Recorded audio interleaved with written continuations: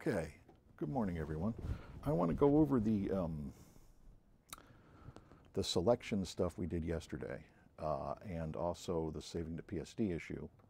Um, I'm going to open our old the thing we're working on. Uh, we learned how to save in PSD, so if I go to Open Recent, I have it sitting right there, and you'll see it comes in with all the layers, which was another thing we talked about. Uh, it's not opening all the separate images, which is fine. Um, remember when I'm dealing with these layers, if I turn the eye off next to each of them, we turn them on and off. And I can change the order of them by dragging them around. See that? Puts the coffee in front. Well, actually, let's show a better example of that. Um, I'm going to move the bike. And you know what else I'm going to do? Control Z. Uh, I'm going to rename it because I have a hard time remembering it otherwise. Uh, I right mouse click this and I go to somewhere on here, it's going to say rename. You know what else I'm going to do? I'm just going to double click it. Ah. I'm not getting any of this right right now. We click on it and hold. One of these damn things is going to let me rename it. Release. Uh, I said, there's just too many selections in these things these days. Um, oh, I click on the text, click on the text. Clicking on the text, that's what you do. Coffee. Bike. Background, we'll leave background. And notice this, the background has a lock on it. What that means is that we can't get rid of it uh, easily. Uh, we also can easily relock it um, with this lock icon here. Yes, we can do it to other layers too if we're happy with them, but we're not necessarily. So uh, I'm going to go to the coffee layer, which is on top, and I'm going to move it right there. And then just to show you, I'm going to put the bike in front of it. Now the bike's in front of it, and I can move the bike here, let's say, and we'll put the coffee back in front of it there. Okay. Let's go back to our selection tools, which again deal very heavily with color. Remember that, the, the 8-bit values, uh, red, green, and blue, 0, 255, 0, 255, 0, 255. Um, let's open another JPEG, the ones we downloaded, if you remember. Uh, let's see what Coffee 3 is. Oh, that's good. And this will actually be a tricky one. Uh, watch this if I go in a bit. I'm going to use the hand to move around. Um, because this is using depth of field. It's out of focus here, it's in focus here. So the stuff that's in focus should pull pretty easily, but this is going to get a little bit trickier. Um, using the selection tools we talked about yesterday, uh, over here we have rectangular marquee, elliptical marquee. Uh, I'm going to start using the magic wand because uh, a lot of this will pull pretty easily. That's a fairly high tolerance. Remember, the tolerance value on the magic wand is the number of values around the pixel. Like, let's say, you know what, I'll even do it. Um, I'm going to grab the eyedropper here because the eyedropper tells us color values. So if I click that, that is the color value there. Let's make that bigger. RGB sliders. Uh, this is, this is going to flip it back. This is another one of those Adobe things. When you get this double arrow dealy, that means they're going to shove it back over to the wall. But if I double click it, it should pop back out. That should be true for any of these. Um, I want a bigger color display. I'm going to go back to Essentials, which gives me that color display. There are other ways I can change that too. And that sort of brownish beige coffee color is 211, 205, 171, red, green, and blue. If I start using this selection tool, Magic Wand, I'm going to select 30 values around it in each direction if I remember properly. Uh, so let's see. Yep, that got a lot of stuff. I'm going to hold down my Shift key and I'm going to keep selecting like that. And you'll see to the sharp edges, it should be fine. It's when we get back here, it's going to get a little bit uh, dicey. Ooh, that one's too big. Control Z that. Um, I'm going to start using the quick select tool, which uses the size of a brush. Does it sit on minus? I want it set to plus. Uh, remember, all our controls for our tools are up here. Um, and I'm going to start plussing to it. And this lets me paint a little bit. Uh, what this does is this takes the size of the brush, in this case 35 pixels, it averages all those and then looks to the edge of that. Now this dark stuff is going to get harder. Oh, see? Let's make the brush smaller.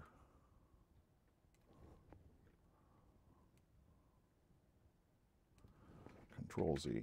Uh, you'll see me do something sometimes. I'll, um, like I have to get this little stuff down here. So let me go do that. And then I'm going to release, because when I release it will save it. It will also refine the edge. I should be looking up here. Uh, let's do that up here too.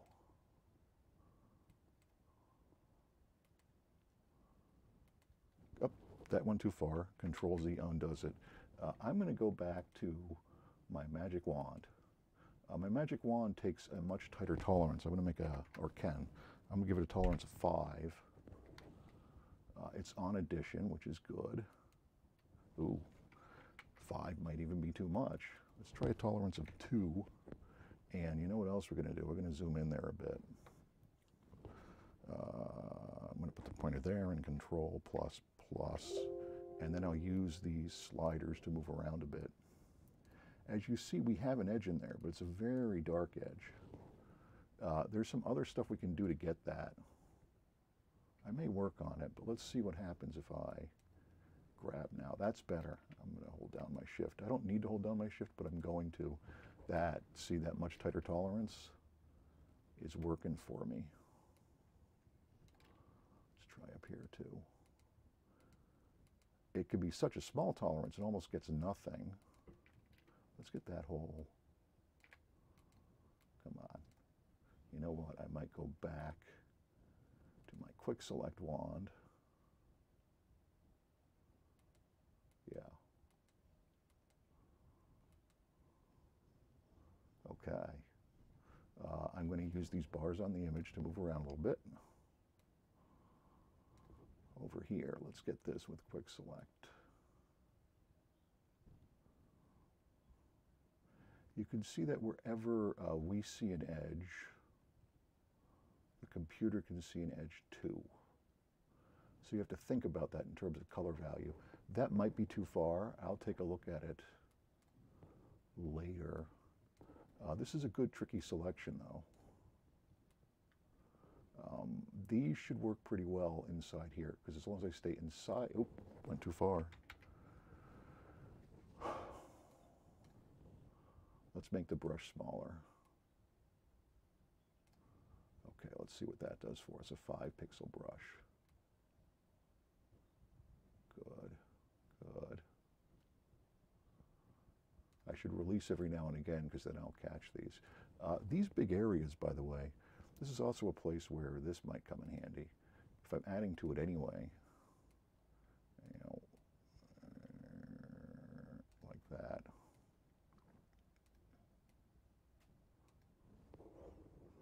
You could spend hours on a selection, by the way. Um,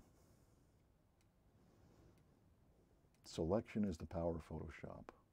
Those who don't know how to select well can get what they want out of Photoshop. I'm going to take a look at the edge. Select and mask. Okay, now you'll see that's a very sharp edge. And um, those squarish edges there, uh, that's an interesting artifact of JPEG imaging that we'll talk about in our next video. Um, but this is probably still usable. This is where I want to feather that edge. If I feather it, I'm slightly blurring the edge. See that?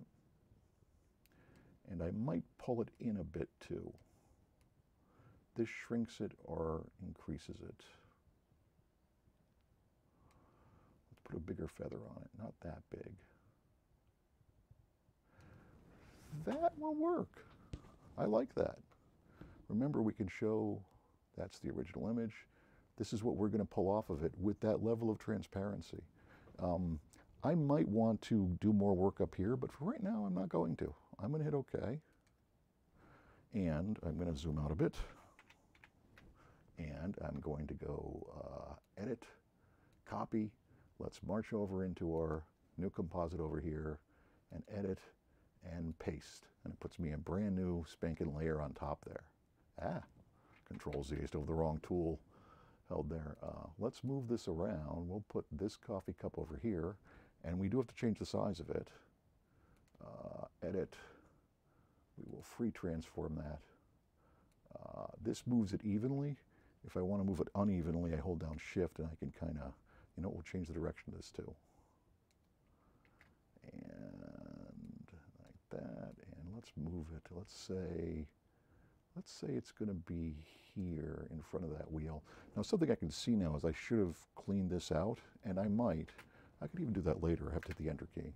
Uh, let's move the other coffee here, and let's put the bike on top of both of them. And let's rename this one. We'll double click that text, coffee 2. And we'll resave this image so that we'll save the new layers in there. File, I'm just going to do a save. Am I? Yes, I am. Um, you can save over PSDs to a certain level, but we'll talk about problems with that later. Okay, so my composite is starting to come together. This is a good thing. Um, we're going to call that that.